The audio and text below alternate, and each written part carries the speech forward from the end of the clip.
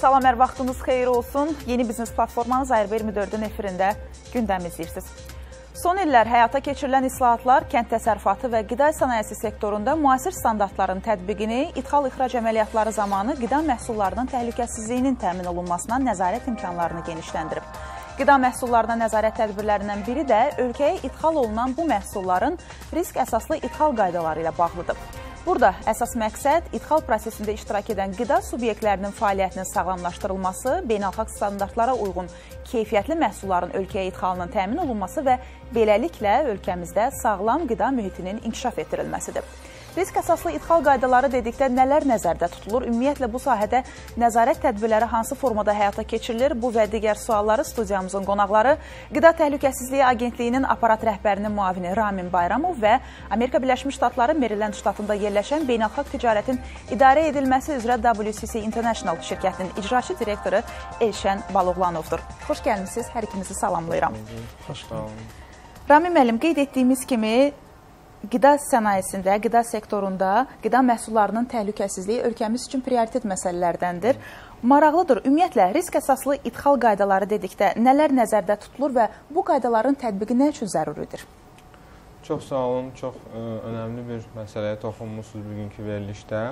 Bildiyiniz kimi Qida Təhlükəsizliyi Agentliyi yaranan gündən ə, ə, bu öz o sahədə qida təhlükəsizliyi sahəsində ə, nəzarət e, mexanizmlarının təkmilləşdirilməsi və onların e, tətbiqi ilə e, məşğuldur. E, ölkə ixal olunan məhsulların e, risk əsaslı e, ixal qaydalarının tətbiqi e, bu beynəlxalq bir praktikadır və e, bunun tətbiqi hər üç e, iştirakçıya, yəni nəzarət orqanına, ticarətçiyə, idxalçıya və e, nəticədə olaraq istehlakçı üçün çox önəmlidir. Əgər idxalçı öz məsraflarını, xərclərini nəzarətə hansısa laborator analizlərə xərclərindən vasitənin xərcləri azalsa, təbii ki, malın məhsulun maya, maya dəyəri də azaldığı olduğu olur və istehlakçının da ə, xeyrinədir. Ə, nəzarət risk əsaslı nəzarət ə, nə deməkdir nəzarət orqanı üçün? Bu daha səmərəli ə, bir metoddur. Bu risk əsaslı yanaşma zamanı daha keyfiyyətli, daha daha belə deyək, güclü nəzarət həyata keçirilir və insan resursları, işçilərin resursları qənaət e, e, etmək olur bununla. Risk əsaslı ixal qaydaları dedikdə, ixal olunan məhsullara onların mənşə ölkəsindən, onların məhsulun özünün risk daşıya biləcək belə deyək daşıya biləcəyindən asılı olaraq, məhsulun özündən asılı olaraq müxtəlif e, müxtəlif e, belə deyək, e, nəzarətlər keçirilir. E, bu sahədə e, biz nəzarəti e, fitosanitar, baytar, bir də sanitar karantin məhsullarına ə, e, e, tətbiqini zamanı deməli 3 e, e, dediyim kimi 3 dənə e, nəzarət orqanı. Yox, 3 dənə nəzarətə fərqli-fərqli nəzarətə aid olan məhsullar kateqoriyası var. Onlar da özü özlüyündə hər biri ə, yüksək, orta və ya aşağı risk kateqoriyası deməkdir. Rəmi müəllim, biz ə, bir qədər sonra bu kateqoriyalara qayıdacağıq, kateqoriya məsələsinə. Siz öz çıxışınızda həmçinin qeyd etdiniz ki, beynəlxalq praktikaya əsaslanır bu risk ə, qaydaları tətbiq olunması. Eşən müəllim, sırf bu işlə məşğul olan bir mütəxəssis kimi qida məhsullarının təhlükəsizliyinin təmin olunması ilə bağlı beynəlxalq standartlar, qaydalar nəyi deyir? Ümumiyyətlə beynəlxalq səviyyədə Codex Alimentarius adlandırılan bir məfhum var, yəni qida məcəlləsi. Bütün dövlətlər bir araya gələrək çalışırlar ki, bu qaydaları harmonizə etsinlər, öz qanunvericiliyində tətbiq etsinlər. İndi bizim həmkarımız dövlət tərəfindən bu məsələ qida təhlükəsizliyi məsələlərinə yanaşır.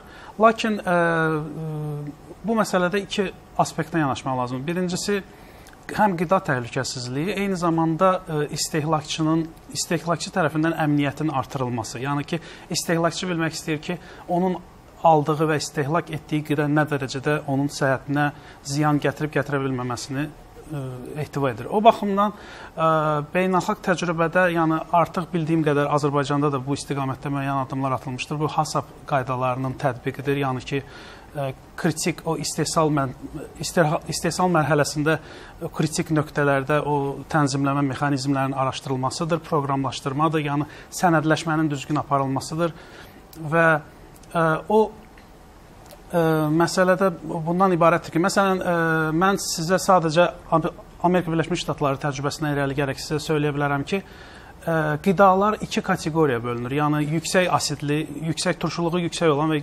turşuluğu aşağı olan qida növləri kimi fərqlənir. Onun da səbəbi qida məhsullarının ə, təhlükəsizliyində nə dərəcədə təhlükə təhlükəyə məruz qala biləcəyindən irəli gəlir.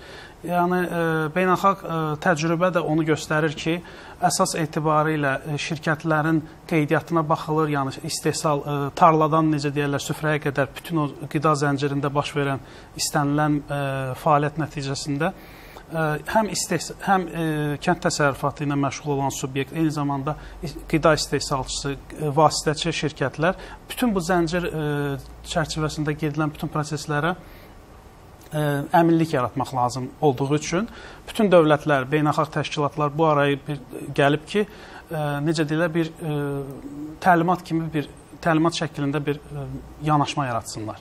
Və bu baxımdan da ə, dünyada bir neçə təşkilatlar fəaliyyət göstərir ki, məsələn GFSI, ə, Global Food Safety Initiative, yəni ki, qlobal qida təhlükəsizliyi təşəbbüsü, qlobal qida təhlükəsizliyi təşəbbüsü məhz o, o baxımdan yaranıb ki, mümkün dərəcədə bu istehsalçıların xərclərini azaltmaqla qida təhlükəsizliyinə və risklərin qida risklərinin azalmasına bir töhfə verə bilsinlər. Bu bir növ sertifikatlaşma deyərdik.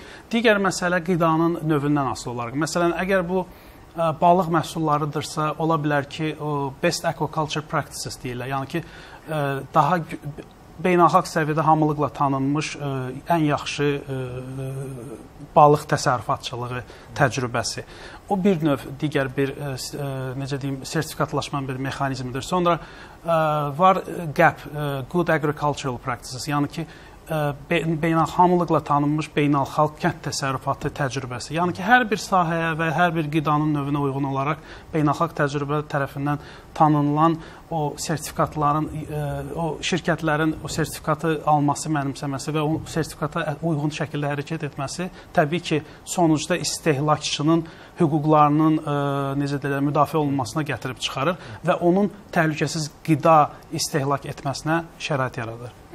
Ramin müəllim, siz bir qədər əvvəl qeyd etdiniz, ümumiyyətlə ölkəyə idxal olunan məhsullara nəzarət, risklər üzrə nəzarət 3 kateqoriya üzrə Hə. müəyyənləşir və buna əsaslanır. Hər bir kateqoriya üzrə ümumiyyətlə nəzarət fərqlidirmi və yaxud da bir ə, müəyyən amil var ki, o hər bir kateqoriya üzrə ona mütləq nəz ə, əməl olunmalıdır. Əməl olmalı.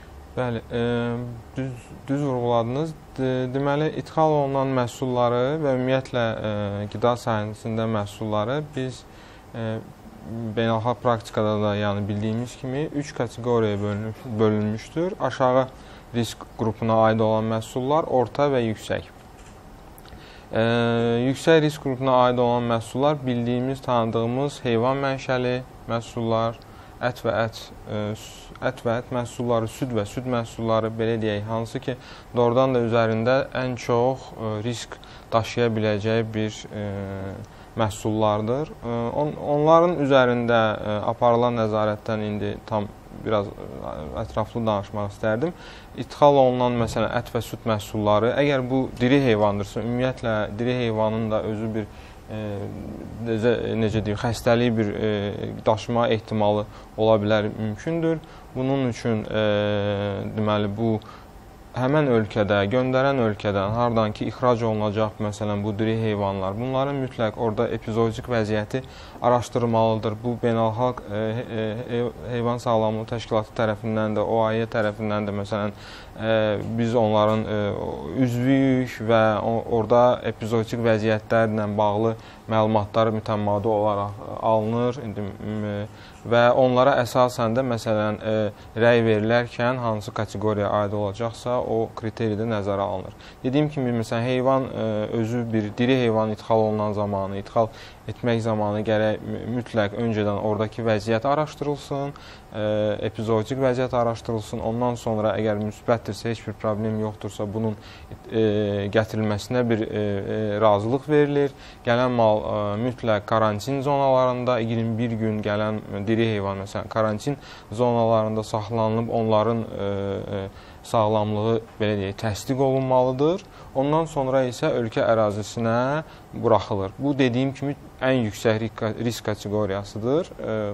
Çünki xəstəlik daşıya bilən bir heyvan ölkədə olan sağlam heyvanları təbii ki, yoluxdura bilər. Ondan sonra məsələn südün özü, süd məhsullarının özü də ə, yüksək risk kateqoriyasına aid bir məhsullardır. Onların ə, üzərində müxtəlif bakteriyalar ola bilər, daşıya, daşıyıcısı ola bilər.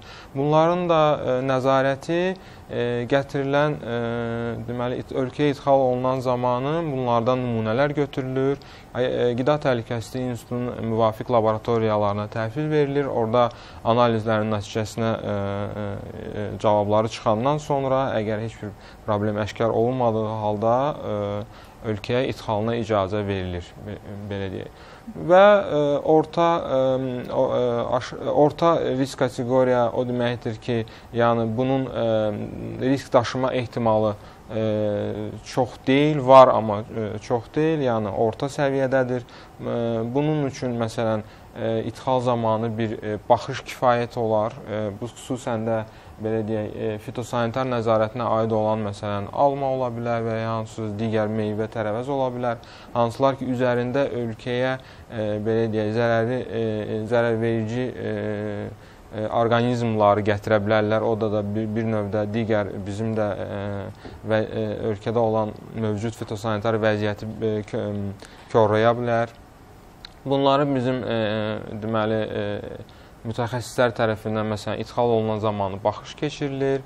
Baxış zamanı əgər heç bir e, e, zərərverici əşkar olunmamışdırsa, məsələn deyək ki, e, o zaman e, bunun idxalına e, yenə də icazə verilir və məhsul ölkəyə idxal oluna bilər. Bu tək e, tək fitosanitar nəzarətinə olan, yəni meyvə tərəvəz deyil, digər hazır məhsullar da ola bilər, hansılar ki, özü özlüyündə də e, bir hansısa bir mikrob və ya belə bakteriyanın daşıyıcısıdır.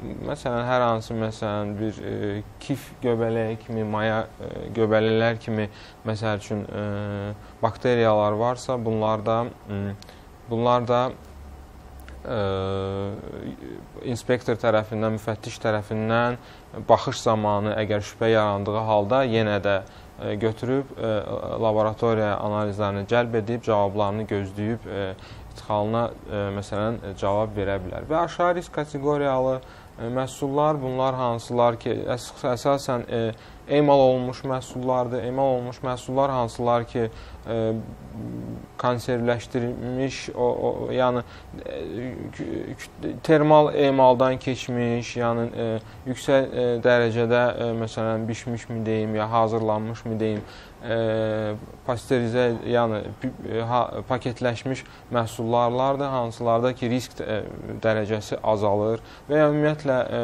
məsələn mineral sular kimi e, e, qida məhsulları hansılar ki, özü özlüyündə də aşağı e, yəni risk daşıyıcısı hesab olunur.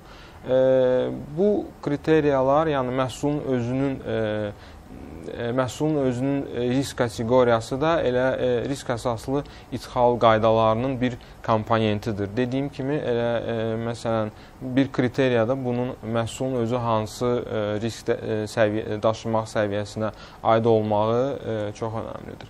Sonra məsələn Elşən müəllim də vurğuladığı kimi ixracatçıda ixrac edən ölkənin müəssisəsi məhsulun istehsal zamanı həmən o ə, beynəlxalq standartlara aid olan məsələn HACCP sisteminin tətbiq etdiyi zaman təbii ki, orada məhsulun ə, ə, təhlükəsizliyinin ə, belə deyək də ə, təhlükəsizliyi azalır, ə, səviyyəsi azalır. Biz onları da nəzərə alırıq. Dediyim kimi ə, ümumiyyətlə ə, ixrac edən, yəni bizim üçün hansı ölkədən gələn məhsulun ə, mənşə ölkəsi də yəni bir ə, önəmli bir kriteriyadır. O da nəzərə alınır hər zaman və üst-üstə komponent olaraq nəticədə bizim mütəxəssislər tərəfindən risklərin idarə edilməsi şöbəsi sektor tərəfindən müəyyən olunur və bir ya digər məhsula ona uyğun olaraq ixal zamanı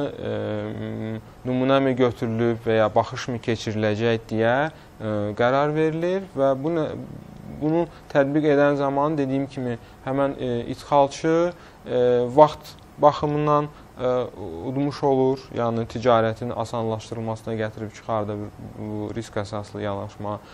Həmçinin də məsrəf baxımından da təbii ki, laborator analizləri də müəyyən bir məsrəfdir. Onların da onların da azaldılması risk əsaslı idxal zamanı təbii ki, gəlir çıxır və ölkə ölkədə təhlükəsizlik daha qida təhlükəsizliyi, yəni daha effektiv ki, həyata keçirilmiş olunur. Çünki nə qədər e, bugünkü gündə çox e, idxal olunan məhsulların hər birini yoxlama e, zəruriyyəti qalmır. Çünki bunların e, nə qədər çox yoxlayanda bir o qədər də e, məsələn məhsullar, digər məhsulların sıxlığı yaranır, effektivlik nə qədər çox yoxlayırsan, bir o qədər də effektivlik mənə elə gəlir ki, azalır. Yəni bu e, nəticə olaraq ə, e, mənfi nəticə göstərir. Eşə müəllim, biz risk ə, e, əsaslı idxal qaydalarından danışırıq. Beynəlxalq təcrübədə necədir? İdxalçı ölkəyə bəs müəyyən tələblər varmı, xüsusi normalar?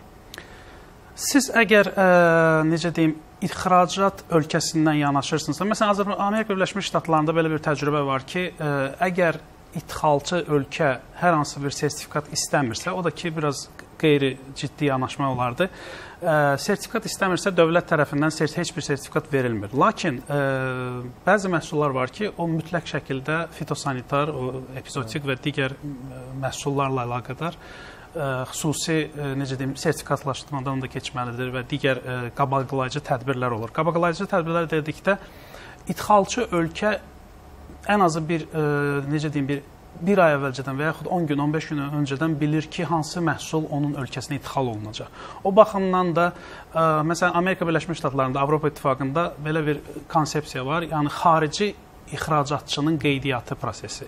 Yəni artıq idxal edən ölkənin rəsmiləri hansı xarici ölkədən hansı məhsulun gəlməsi barədə erkən məlumatlandırılır.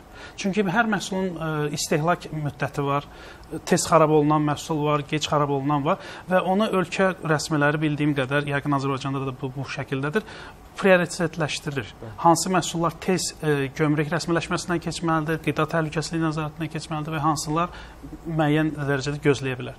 O baxımdan e, idxalçı ölkə ilə ixracatçı ölkəsi ölkə arasında müəyyən tərəf əməkdaşlıq da olur. Məsələn, Əgər fərz edək ki, Azərbaycan ilə Amerika Birləşmiş Ştatları arasında hər hansı bir iki tərəfli müqavilə olsa, artıq Azərbaycan məhsullarının məsələn Azərbaycana, e, Amerika Birləşmiş Ştatlarına ixracı potensialı da artır. Hal-hazırda bu potensial mövcuddur. Lakin kənd təsərrüfatı məhsullarının, yəni bilirsiniz ki, Azərbaycanın gözəl kənd təsərrüfatı məhsulları var. Çiyələk olsun, portağal olsun, nə bilim, hər istənilən məhsul və qeyd etməliyəm ki, həftədə 2 dəfə Azərbaycandan ə, e, hava yolları birbaşa xətlər, uçuşlar həyata keçirir və kargo kütləsi gündə necə deyim, daimi mütəmadi əsaslarda mövcuddur. Lakin qalır ki, iki dövlət arasında müəyyən saziş əldə olunsun və ə, kənd təsərrüfatına aid olan məhsulların ixracı mümkünləşdirilsin. Bunun üçün də iki dövlətin əməkdaşlığı olmalıdır ki, hər iki tərəfin idxalçısı və ixracatçısı arasında müəyyən dövrə yaransın. O ki qaldı ə, ixracatçı dövlətdən tərəfindən nəzarət. Təbii ki, ixracatçı dövlət o əgər biz Amerika Birləşmiş Ştatlarını nəzərdə tuturuqsa, eyni gözlə baxır. İstər idxalçı olsun, istər ixracatçı olsun. Onun yerli istehsala qoyduğu tələbləri eyni ilə e, digər ölkəyə də şamil olunur. Çünki qlobal e, bütün dövlətlər belə deyək, inkişaf etmiş və inkişaf etməkdə olan dövlətlər Ümumdünya Səhiyyə Təşkilatının üzvüdür bu həmin ə, heyvan ə, təşkilatı, o heyvanın ə, qo sağlamlığın qorunması təşkilatının üzvüdür və bütün dövlətlər öz üzərinə öhdəliklər götürüblər ki, harada satılmasına asılı olmayaraq bütün dövlətlər çalışacaq, səy göstərəcək ki, qida təhlükəsizliyi qlobal baxımdan həll olunmuş olsun. O baxımdan ixal xərac məsələsində yəni ki, qarşılıqlı bir anlaşma var ki, hamı bir istiqamətdə hərəkət etməlidir. Rami müəllim, bəs ə, məlum məsələdir ki, sahibkarlar sahibkarların ə, ölkəyə idxal etdiyi məhsullara bu nəzarət gücləndikcə sahibkarlar da maraqlı olacaqlar ki, daha təhlükəsiz qidaları ölkəyə gətirsinlər. Bəs ə, bu cür ə, səy göstərən sahibkarlara, daha təhlükəsiz qidanın ölkəyə gətirilməsi üçün çalışan sahibkarlar hər hansı bir güzəştlər nəzərdə tutulurmu və yaxud da belə bir proqram varmı və yaxud da ə, onlar necəsə qiymətləndirilirmi? Çox gözəl vurğuladınız. Haqlısınız. Qida Təhlükəsizliyi Agentliyi bildiyiniz kimi keçən il bir ilimiz hələ tamam olmayıb. 2018-ci ilin əvvəlindən fəaliyyətə başlamışıq. 2 iyul tarixdən isə vəzifələrimizi icra eləmişik, yəni icra eləməyə başlamışıq və bu müddət ərzində mən sahibkarlarla çox sıx təmasda olmuşam. Xüsusən də indi idxalçılardan danışırıq İdxal edilən zamanı bu risk əsaslı yanaşmanın tətbiqi üçün bizə bir baza lazım idi. Bu idxalçıların bazası, gətirdiyi məhsulların belə deyək də bazası və biz məhsullarını yəni yüksək risk hesab elədiyimiz məhsulların əksəriyyətini hamısını laborator laborator ə, analizlərə cəlb eləyib onların cavablarını alırıq. O müddət ərzində təbii ə, müəyyən ə, problemli ə, məhsullar da olub, hansılar ki, geri qaytarılıb və ya tezdən təkrar emal emal olunub və s. Bu bu isə bizim sahibkarlarda ə, yəni